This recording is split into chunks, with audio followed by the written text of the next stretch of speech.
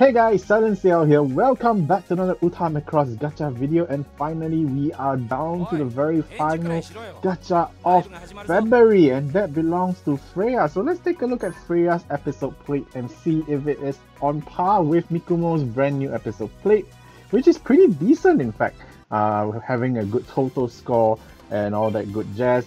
So let's take a look here. 3855 total score. is almost on same par level as Mik- uh, Mikumo's brand new episode plate. Um, just like Mikumo's, focusing on voice, and of course, the lower stat will be soul, and a bit more on charm. So pretty similar to Mikumo, just that maybe well it doesn't have the same divas that are able to use the episode plate itself, which is good. It adds variety, and of course, for those of us who are Makina, Cheryl, and maybe Minmay fans, are able to use Freya's brand new plate with your favorite diva. Alright, so looking at it, the center skill, voice up, it seems like it's the same thing as Mikumo. So things are looking good in terms of you know whether you should pull this episode plate or not. So let's move on to page 2. With the active skill, 5 seconds, score up at 70%, so it's very very similar. Life skill, score, repeat, and damage. So it looks like it's actually a duplicate, except for maybe the stats on the episode plate, and of course, who are who are usable, or rather, I'm fumbling right here. I'm tired. It's been a whole day, so uh, excuse me on that. So yeah, uh, like I said, um, other than that, well, basically, whoever is using uh, this episode plate is definitely different from uh, Mikumo's episode plate itself. So let's take a look at the last page. Is it the same fate as Mikumo's episode plate? Does it not come with a special note attached to it? And sadly to say, yes, it doesn't come with a special note attached to it. So if with all of that said, uh, it's the same results as Mikumo's. Should you pull this episode plate? Well, basically, if you don't have an episode plate with this life skill, like I said for Mikumo's, go ahead and try and get it. But of course, the main point is to unlock Freya's brand new costume, um, which is also belonging to the Valkyrie Third Life costume set, same as Mikumo's. So with all of that said, this gacha video is definitely going to be a lot shorter than Mikumo's, uh, with all the explanation out of the way. So like I like I speculated in Mikumo's gacha, we were talking about you know the new theory on um, you know the gacha system considering that now DeNA has uh, implemented a free single pool with every brand new featured gacha. Um, you know, you can use it to test the waters of the luck. I forgot to mention this in Mikumo's uh, gacha video. Well, um, some of us have been theorizing that, you know, how often is the gacha rate changed in Uta Macross? Well, in my personal theory, um, I've been trying it out basically, we all know that DeNA gives out free single plate pools. Um, if you guys have been logging in and collecting them daily, the service gacha here is resetted three times a day. Um, so you can see the timing is all here in that pink highlighted line right here. So yes, so that, that's where my theory comes in. Basically, my theory is that DeNA resets the gacha luck three times a day. So basically, you can use the free gacha pools from the service gacha and of course the featured gacha um, single pool to test the waters to see whether that time period is actually good or ideal for you to pull your gacha. So that's that's really the real breakdown of my theory on the gacha. I forgot to mention it uh, in the Mikumo's gacha video. I apologize for that. So let's test the waters right here with the uh, the free service gacha.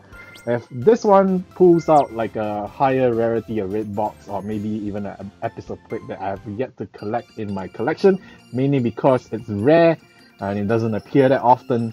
Uh, we know that the gacha for the day is, or rather the time period is technically better. So we did get a very slow load right there, even though we didn't see any Valkyrie animations, but it might produce an episode plate that is pretty low in the um, collective numbers um, especially you can tell from the secret board numbers that the episode plate itself has unlocked. So you can tell I have about six copies of this, um, technically seven if you want to count the first copy, or eight. it takes two copies to make it fully evolved. Then of course the consecutive uh, numbers are all the secret bots. So technically this one is kind of rare because I don't have it in like the double digits or triple digits. So let's further along prove the theory with the free single pull from the featured gacha. Um, you know, sometimes if the if the the conditions are right, the single pull might end up pulling a six star episode plate or a five star episode plate, depending on the luck of the day and time. So you can tell that the luck isn't so fantastic, and we did technically use up the luck on the Mikumo's gacha videos. So I'm expecting a pretty dry run today. So yeah, as you can tell, we are only getting a regular silver boxes um, during this time period, which is the evening time period, the last three gacha, you know, of the day. So yeah, anyways, I barely managed to scrape 300 singing stones considering all the singing stones I sacrificed for Minmay's gacha, and of course, um, barely scraping by Mikumo's gacha as well. But somehow or other, I managed to scrap through 300 singing stones thanks to the event, and that 100 singing stones um, from that login bonus that recently uh, occurred. So that's I'm pretty grateful for that. So, like I said, Macross fans, you guys are pretty lucky. Uh, I'm pretty lucky as well. I'm a Macross fan as well, same like you guys. DeNA is very generous on all the free gems and singing stones, whatever you want to call it by. Um, yeah, they've been providing us more than enough free singing stones to at least do a template free gacha pool uh, for every brand new featured gacha that occurs. Uh, if you want to pull like maybe the birthday gachas or maybe the um, sometimes they do the Uta Macross um, service gachas or maybe like Makutoma service gachas, Nyan Nyan Kuji gachas. You know, to pull those extra gachas, definitely you have to dig out the cash from your wallet. So, yeah, providing us free stones, singing stones, free gems, just to pull the brand new featured service gachas um, for every event. I think that's pretty generous enough uh, compared to other mobile games out there. So yeah, guys, what do you guys think of you know the generosity of DeNA? Let me know in the comments down below. Do you think they should give more? Do you maybe think they could have uh, planned um, you know more um, events or missions or challenges to provide us with more fun at the same time giving us rewards and all that good stuff you can let me know all in the comments down below and hopefully DeNA reads the comments uh, of this small tiny youtuber who helps put out content for their japanese games so that their international fans can play. So anyways guys let's do this 10 plate gacha pool discounted. Um, if we do get freya's episode plate i have nothing to say. Uh, i'm expecting nothing from this.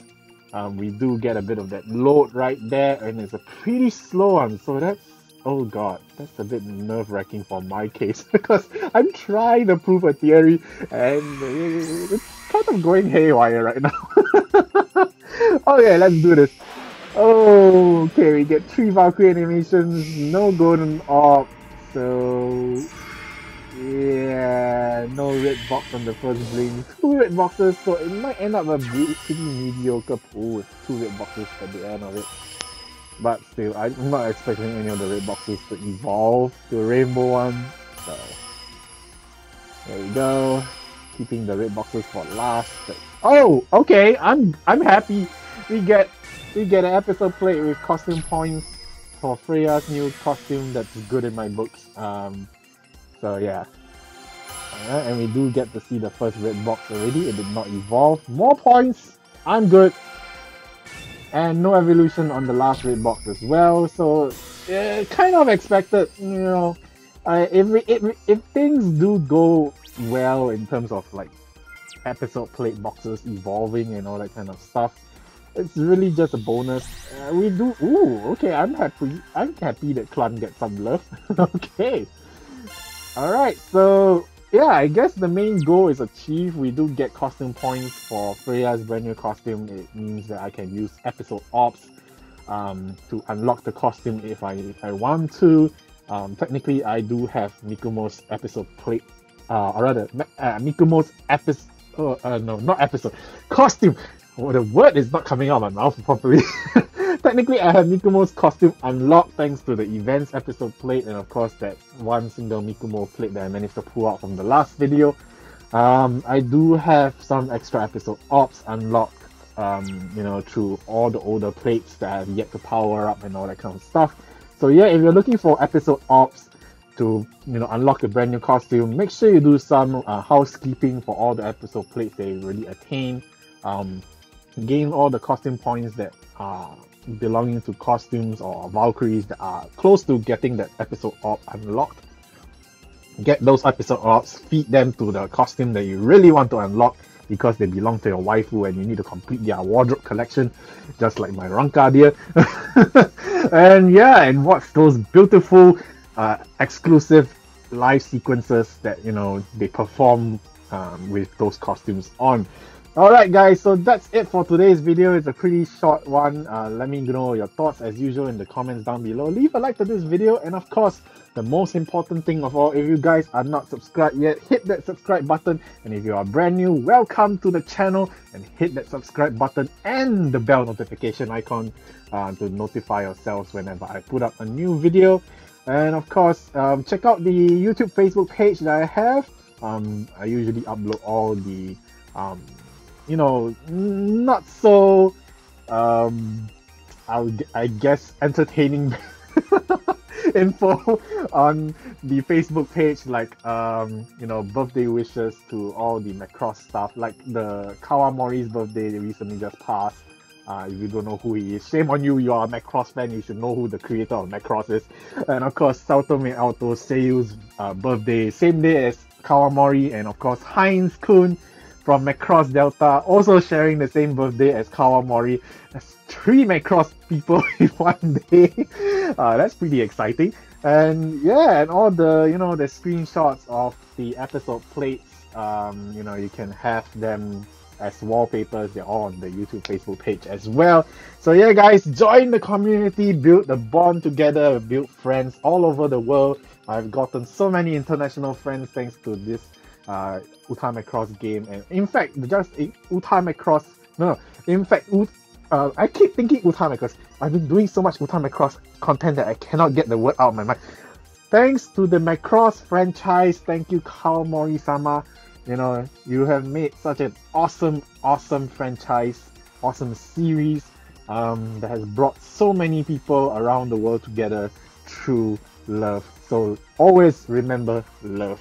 Alright guys, until then guys, I'll see you guys soon. Bye!